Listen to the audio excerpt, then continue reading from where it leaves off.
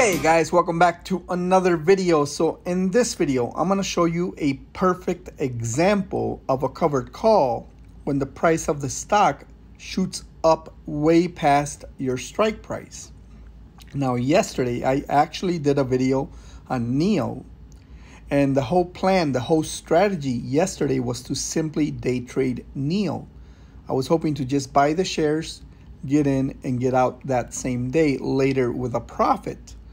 Now I could have just stuck with my original play and you know made some pretty good returns yesterday.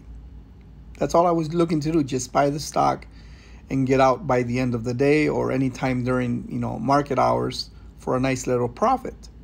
Now instead, I ended up selling covered calls on NIO because I saw the premium for a 3-day expiration was roughly around $51 per contract, 51 cents you know, per share on each contract. And I thought, okay, so I have 400 shares and I can simply, you know, take those $205 or it was like $204 and then with the little capital gains that I would have received for a $16 call, it would have been like a 200 and something dollar profit for a 3-day expiration. Now the contracts that I sold yesterday, they expire on August 28th, which, which is basically in 2 days. And I'm like, okay, you know, I might as well do that. It's some guaranteed profits. Just let it expire. It's only three days. And so I ended up just switching from the day trade all the way to the uh, covered calls. Now, covered call writing, it's not a bad thing. You know, you're collecting premium. I love doing that. However, in this instance, I didn't expect NIO to, you know, skyrocket that high past the strike price. I thought, okay, maybe it'll go above 16 just a few cents and then come right back down and then maybe even to back to above 16 so that's what i thought you know that's what i thought NIO was going to do maybe skyrocket to maybe 1650 or something or even 17 maybe and then you know sell off people taking profits and come right back down. But in this case it ended up spiking even a little bit higher. You can see that i'm actually up uh, $1300 however because of the contracts that I sold, I'm limited and capped to how much money I can make on this trade.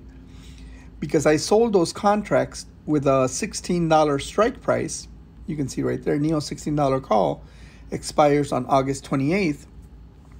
I basically capped, you know, what I'm able to make on this trade. I can only make as far as $16 per share. I bought them at $15.82. I bought 400 shares. And I thought, okay, you know, a little over $200, it's not going to be that bad, right? Now, I am still going to be profitable because I plan on letting these options expire. Just take those profits. You know, some profits are better than no profits. Now, what you can also do if you choose to is buy the contracts back and roll it over for next month if you want or the following month. Excuse me depending on how far you're going out of the money or in the money. So it's really up to you.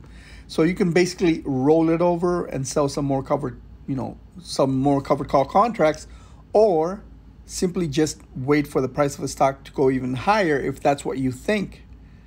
However, you're stuck in a contract. The shares are tied up as collateral. We collected premium for that. So if I were to choose to buy the options back, I'm going to show you right now for August 28th. Remember, we sold them. Now, on the little combination up here, you would have to buy them.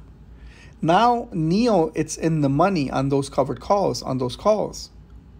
Because when we bought the shares, it was right under $16. The $16 call was out of the money. Now it's in the money, meaning it's worth a lot more too, even though it's expiring in just two days. So if I were to choose to buy the options back, look at how much I would have to pay now. Compare that to what I received. So not only would I have to give up, you know, what I received in premium, but on top of that, I would have to pay out out that the difference, you know, for 1300, which is roughly $1100 more to get out of the contract. Now, in this case, yes, I can roll it over, but it doesn't really make sense for me because I do weekly and monthly covered calls on NIO when I do sell covered calls. So rolling it over on 400 shares, I can choose a further out out of the money strike price. But to me, in my opinion, having my shares taken away, it's really not a bad thing. I don't fall in love with the stock. I'm long term bullish on it if I'm ever down. I've been day trading it, swing trading it, selling puts on it, and selling covered calls since it was $2 per share. So I've been taking profits along the way. Now, it's a stock that I'm doing it on because if I'm ever down on it, I'm okay with that. That's what I mean when I'm when I'm saying, you know, I'm long-term bullish. Doesn't mean that I just have to buy it and hold it forever. No, I like to take profits along the way. Now, this is how much I would have to pay for these contracts. So on your screen, you're actually going to see a, a negative. See, it says total return negative 1136 right now. But uh, this is going to fluctuate because the market just opened a few minutes ago. So the negative sign all it means is that's how much money you would have to overpay for those options if you choose to buy them back. You're basically losing out on a lot more money right now. This is this is exactly what's happening. I'm losing out on money that i could have made if i wouldn't have sold those covered call contracts so again, what you can do is just simply take those profits and call it a day and then you know, this these kind of things are are going to happen once in a while. Now, it rarely happens to me when it does shoot up past the strike price. It's only by a few cents. Plus, you know, you have to take in consideration that you collected premium. Now, these kind of uh, plays where it shoots up even higher rarely has happened to me, but uh, today was actually a very good example. I did a video on this yesterday on how the, uh, you know, I ended up switching plays and I ended up missing out on extra gains unless I would have bought the contracts back yesterday. So these are the uh, kind of decisions that you have to make sometimes whether it makes sense to buy the option back, roll it over, or buy it back and hold on to it. Because sometimes after a gap like this, the price of the stock is also gonna drop because people are taking profits. So you have to expect some kind of healthy pullback, which is which is uh, pretty normal on any stock that gaps up real fast like that. So in this case, just wanted to share with you guys the downside of writing covered calls. When this does happen to you, you miss out on those extra gains. Now it doesn't happen all the time, but it does happen and it's gonna happen to you if you like writing covered calls. It will happen eventually. If it hasn't happened to you then it will eventually. And then you, you just have to decide what to do whether you want to hey buy the options back roll it over buy the options back keep the shares if you think it's to go even higher or take the profits on what you got on the premium. So there's a few different choices that you can do.